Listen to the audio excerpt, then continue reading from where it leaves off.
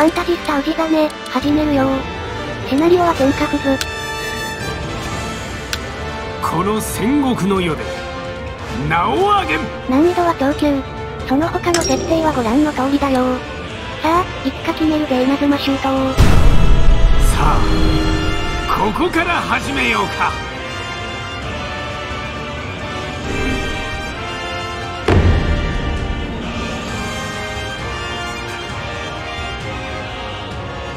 永60年、ノップは稲葉山を奪ってギフト改名。ここから岐阜は、名古屋の植民地となったのでございます。今日では、義輝様が三好三人衆の大技、畳プレスの犠牲者となり、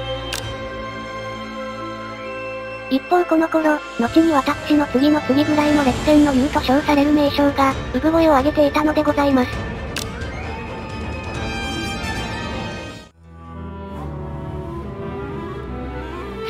早速 PK の新要素、甲状腺を有効にするため、制度改新2をセットいたしましょう。わかりました。そして、ノップや信玄坊主産地より微妙な今川家固有政策、今川かな目録をセットいたしましょう。うむ。これは私自らがやらねばな。よかろう。そして、今回も頼りになる宇治安パパンに親善の使者を送りましょう。安友さん、頼みますぞ。承知いたした。次に、空席の代官を決めてしまいましょう。感謝いたす。ありがたき幸せ。そして、大武田の最前線の神原城の開発は、しっかり行いたいので、治療を割り当てていきましょう。恩に切るぜ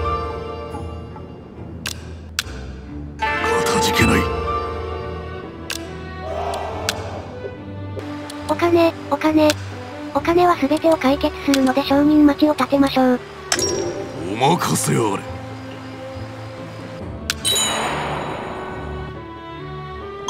親方様、氏康様がお見えでございます。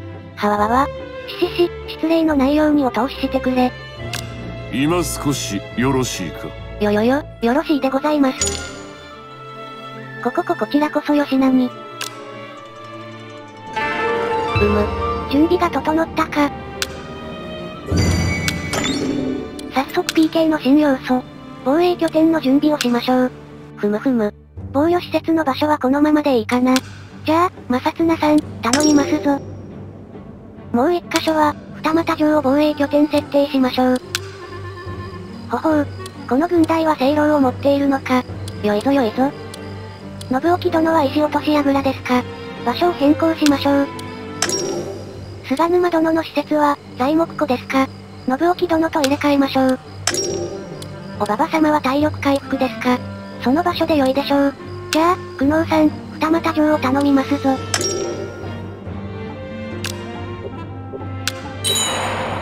あ、おばば様。パパンの仇の尾だけに、何やら事件があったようじゃ。これは確認しておこう。暗殺された足利義輝の後を継いだ、足利義明は幕府最高を目指していたのでございます。近江、若狭、越前と転々としておりましたが、上洛の目処は全く立たず。そこで目をつけたのが織田信長でございます。義明は早速上洛を促すべく、細川藤孝を使者として送り込んだのでございます。勝ちおめえ。お、おう、信長様が身の通り上洛できるように、斎藤さんちとの仲を取り持たせていただきましたが、やはり、あの顔では立ちませんでしたかな？チェンジで。まあ、それは良いのです。それより、今こそ上洛して、義明様に力を貸してはいただけぬか？元よりそのつもり。義明様にもよろしくお伝えくだされ。やったぜ。そうそう、これより我らとの取り次ぎには、このものをお使いくだされ。弁網でもあそこも立つ男でございますれば、明智十兵衛、40歳、爆心です。では、あとは若い人同士で、ふっふふ。ふう、細川藤孝。新生 PK になっても、今日育ちの嫌味さは抜けんな。十兵衛とやら、これよりは楽に話そうぞ。貴様も楽にするがよい。さすがはノップ。話せるー。いら、まあよい。嫌味な藤孝が貴様の腕を褒めておったな。貴様はどれほどの使い手なのだ？お話しするほどでもございませぬ。剣はせいぜい棒切れを振る程度でございますが、が、なんだ？黒くて、長くて、硬い種ヶ島には自信がございまする。うほ、いい黒光り。すぐにでもじっくりと見たい。裏に来て見せてくれぬか？上洛の話はよろしいので？構わぬ、今日の話はこれまでだ。裏で俺と貴様、鉄砲の腰振りの腕を追いに来そうではないか、はっはっは。わー。信長と光秀、運命の二人は、こうして交わり始めたのでございます。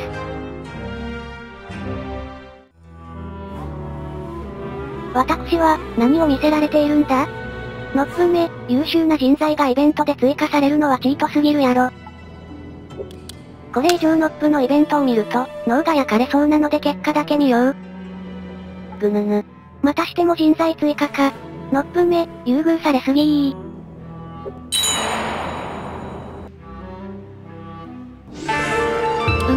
む、承認待ちが完成したな。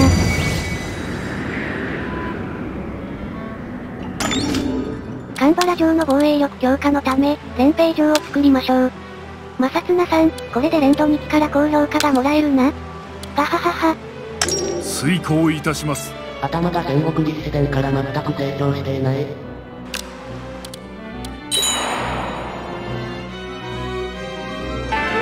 うむ。ようやく今川かな目録発令の準備が整ったな。今川の名のもとに、視力の行使を禁ず、我らが愛をもって、平穏をもたらさん、とやー。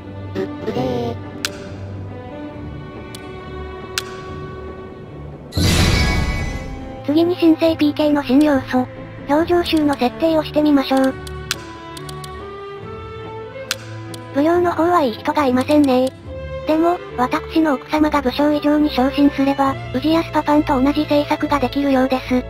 それまで武将は空席としておこうか。火災はおばば様しか就任できないのか。城の耐久度が上がるのはいいですな。しばらくは防衛に駆け回ることになるだろうから、腰兵糧が少なくても良いじゃろう。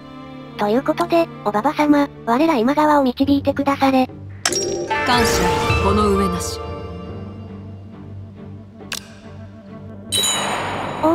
速おばあちゃんの知恵袋を使って、耐久回復を進めてくれてますな。よいぞよいぞ。おお、神原城の連兵場も完成したな。次は防衛拠点の二俣城にも、連兵場を建設するのじゃ。久能さん、苦悩しないでちゃっちゃと作ってくだされ。なんつって、ガハハハ。やってみせましょう。吉本様、どうして討ち死になさってしまったのですか？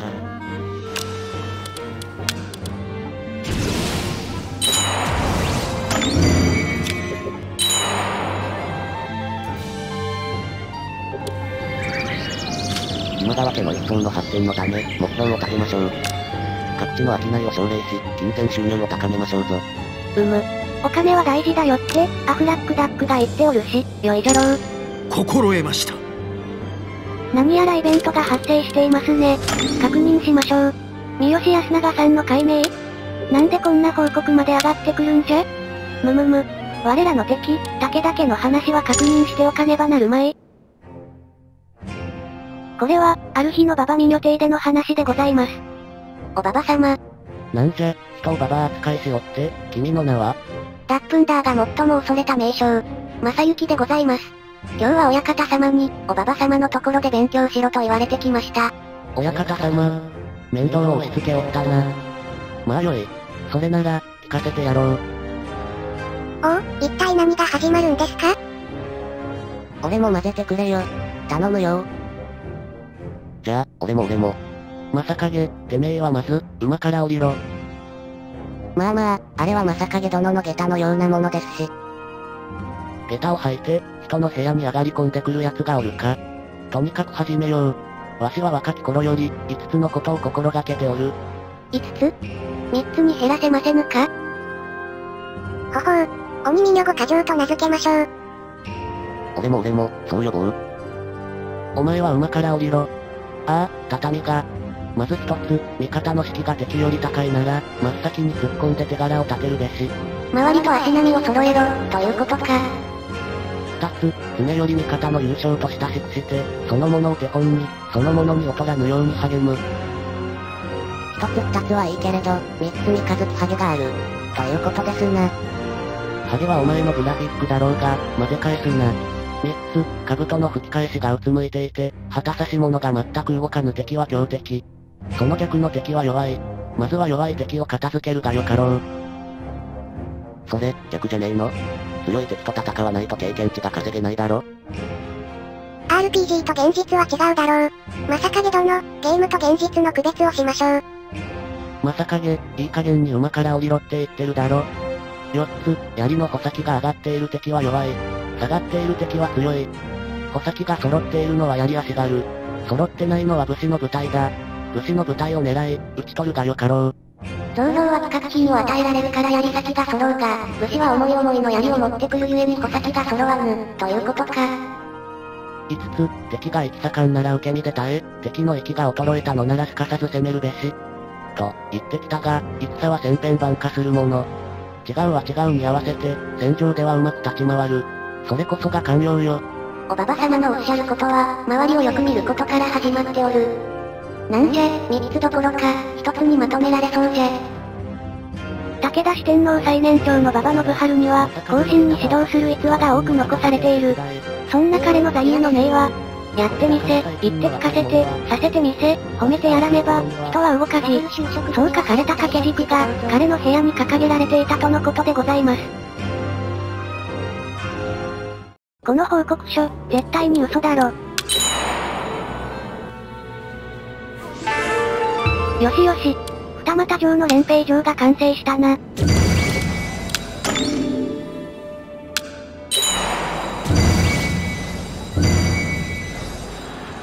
親方様、一大事でございます。徳川家の要請により、織田軍が約7000の兵力で出陣してきました。ぐぬぬぬぬ。のっぷめ、許さぬぞ。我が軍略甘く見るでないぞ一大事でございます。徳川家康が約9000の兵で攻めてきましたぞ。ファビョーン、ノップもダップンダーも絶対に許さないにだ。三河の狸目が出ましたか。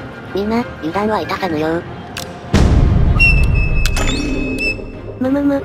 二箇所同時とはいやらしい攻撃じゃ。二俣城は籠城戦でしのぐとして、まずは菊間城に押し寄せる軍勢を片付けてくれよう。沖津州に援軍を要請するのじゃ。遅れてはならぬ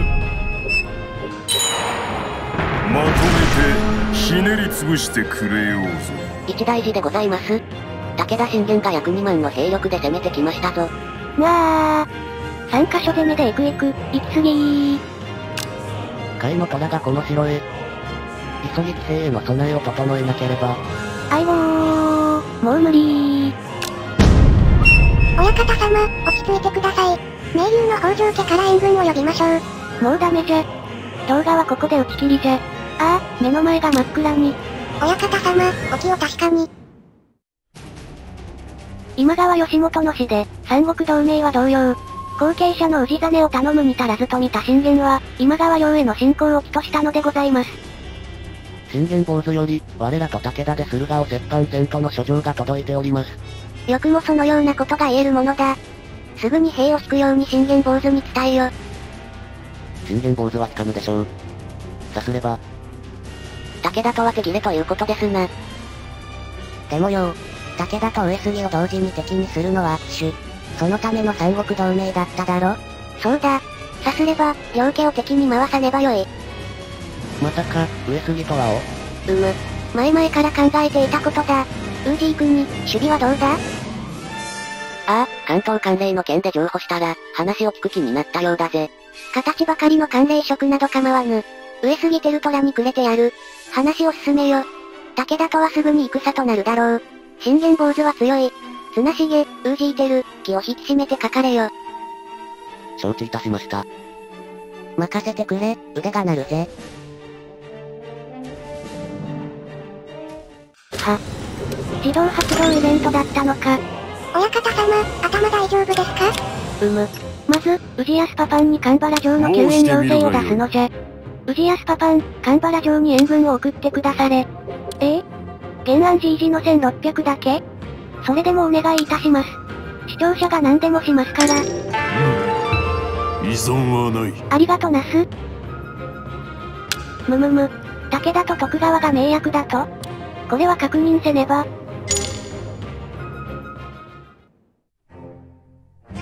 家康の居城に、武田家の重臣である穴山信忠が突然訪問してきたのはこの頃でございます。何当家と名役をそれはまた何のために言わずと知れたこと。両家にて今川家を攻撃し、寸円二国を分け取りにしようとの提案でござる。なるほど。それは当家に森があること。名役を結ぶことに異論はない。今川と予備場、前から後ろからずっこんばっこん攻め立てて、するが、とうとう身を分け取りにしましょうぞ。わははは。うむ、武田殿が上半身、我らが下半身をいただくということですな。やはり、女子は尻ですからな。ぐへへへ。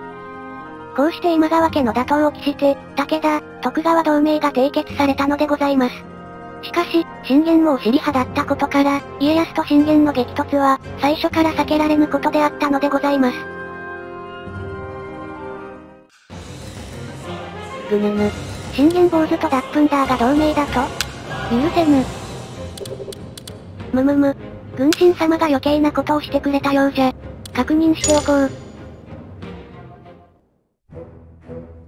武田信玄は高宗春三国同盟を破棄。今川家との敵対姿勢を明らかにした。これに対し、氏真は同盟関係を続ける氏康と協力して、武田領への塩の輸出を禁じたのでございます。海に面していない海では、塩を生産できず、今川や北条の商人に依存していたため、武田は窮地に陥ったのでございます。わしとしたことが、向かったわ。氏真はともかく、ウジヤスまでこのような手に出ようとは、さすが、我が弱点を見抜いておる。一方、武田家が塩の欠乏に苦労しているとの情報は、上杉輝虎の元にも届いていたのでございます。海は潮が全く取れず、さすがの信玄坊主も難重しているとか。これは後期ですな。後期いや、さにあらず。今は敵とはいえ武田を救う時ぞ。ああ汐留など、戦いをもって決着をつけられぬ卑怯者のすることぞ。あ、はい。よって、塩は我が領から武田方に正当な価格で売ると伝えよ。窮地につけ込み高値で売る者は取り締まれ。困り抜いていた塩の供給に目処が立ち、信玄は一応はテルトラの恩情に謝意を伝えていたが、その後信玄は、その心の内を高坂談笑とのピロートークで語ったのでございます。つまり、テルトラは越後の塩を我らに売るというのだ。ただでくれるわけではない。今川、北条の塩に頼り切っていた我らが、今度は越後の塩に頼るように仕向けているようにも見えますね。そうなれば、今度はいつテルトラが塩を止めるとも限らん。まあ、キューバをしのげたのは間違いないか。なるほど、テルトラにとって絶好の機会だったわけですね。しかも、このことでテルトラが偽証との噂は高まろう。全く抜け目のない男よ。わしも見習わなくてはな。さて、今川戦の前に、もう一戦と行くか。やあ。この有名な、敵に死を送る、の逸話はことわざになるほど広く知られ、偽証として上杉テルトラの評価は高まったのでございます。このテルトラの振る舞いに対し、信玄が返礼として送った太刀は、汐留の太刀、と呼ばれ、今も残っているのでございます。おい、なんじゃこの結果は。今のイベント内容でどうして信玄坊主の所持金が増えるのじゃ？ノップもダップンダーも信玄坊主も、優遇されすぎー。グギ、グギ、グギギギギギギとにかく、とうとう身を救わねば。皆の者、出陣じゃー。我に続け選挙される前に、乾州には出陣してもらいましょう。ついてまいれ安友さんも出陣してくだされ。お、大久保さんは混乱持ちですな。掛川城の兵を二つに分けて出陣してもらおう。わしに続け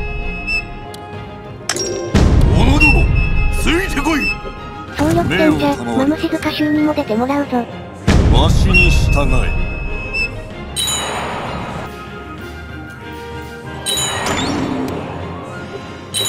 戦ぞ陣を整えよさあ、行くぞ。と、その前に引間城からも出陣してもらおう。うどの、てめえはこの船を降りろ。そ、そんな直虎ちゃんの混乱に期待じゃ。出陣してくれ。ついて参るのです。水野よ、今川の全力を見せてやる、行くぞー。あ行きますよ、行く行くー。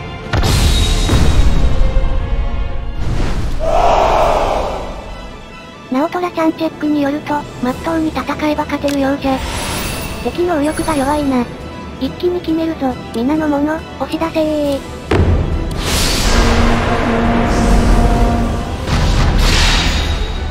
手向かう者には情けはかけぬぞ。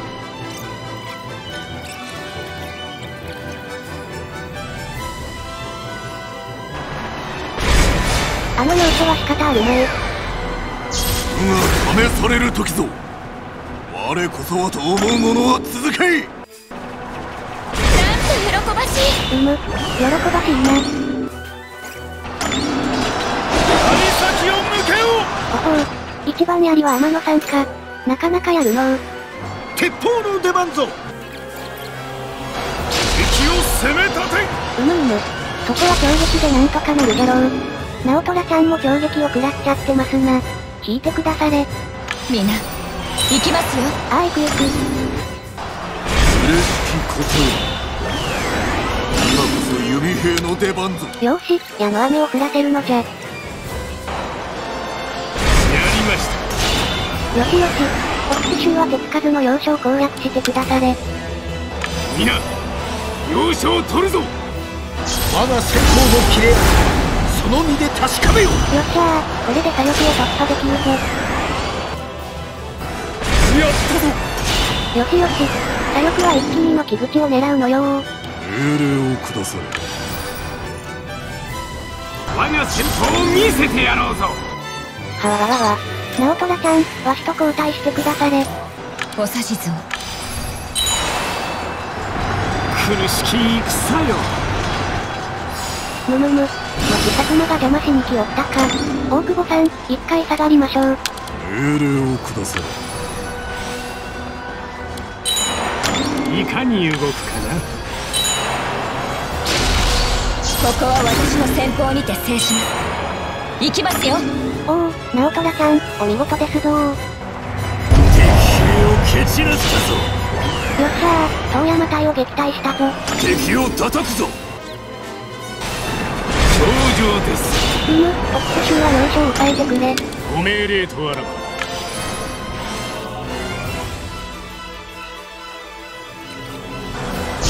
いつ我が先方にて押し通る今が好機よカチカチ BGM 来ましたわー。よっしゃー、池田隊を撃退したぞ。そのまま引っ取られてしまえ。いかに動くかな今へ我が戦法を見せてやろうぞ敵兵を蹴散らしたぞうむむ。逃げられたか。頂上ですこのままの木口破壊でフィニッシュじゃー。素晴らしいよっしゃー、勝ったどー。皆の者、勝ち時をあげよう。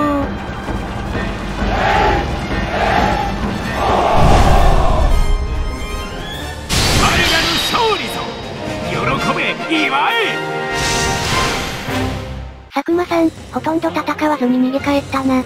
これはノップに折檻されるやつだわ。軍港第一は安友さんじゃ。やはり、今川の中石じゃな。さ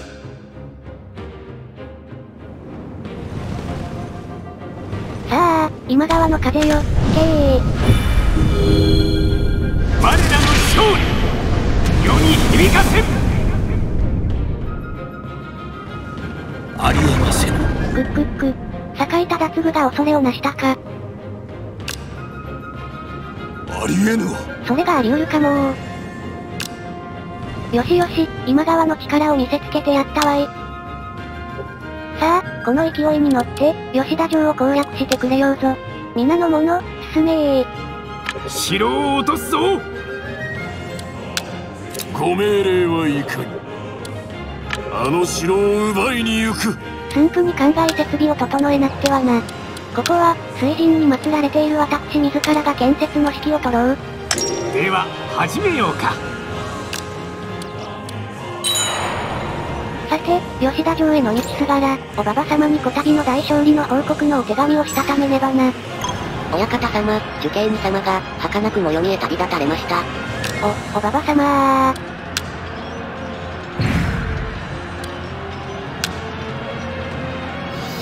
まずいぞ。おばば様がいなくなったということは、おばあちゃんの知恵袋で上がっていた城の耐久が元に戻ってしまったではないか。我らの防衛拠点である二俣城に、家康が攻め寄せてまいりました。この兵力で二俣城を守るなんて、無理無理無理かたつむり。と、言ったところで、今宵はこれまでにいた人ございます。あ、逃げたわ。親方様、お助けて勝ったなが母。八丁味噌を食べてくる。